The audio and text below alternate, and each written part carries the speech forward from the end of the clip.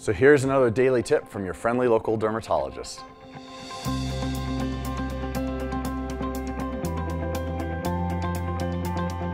All right, let's talk about loofahs. Let's talk about washcloths.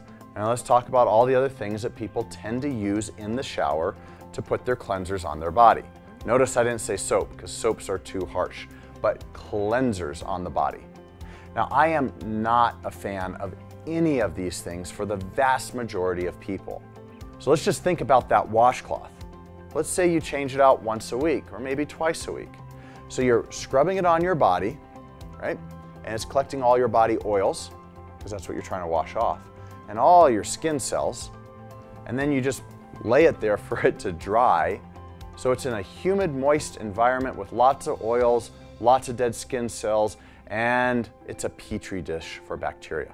And then the next day you come back and you shower and you're grinding that petri dish of bacteria into your skin.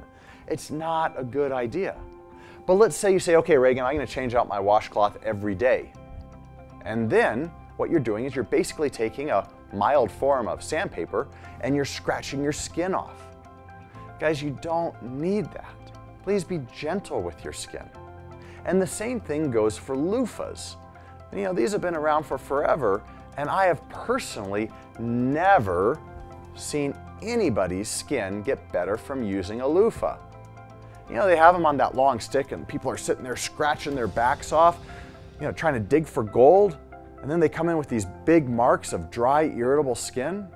It's not good for you.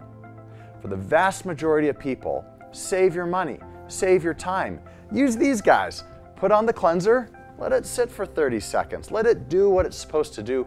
Rinse it off, pat dry, then apply your good lotions and go about your day.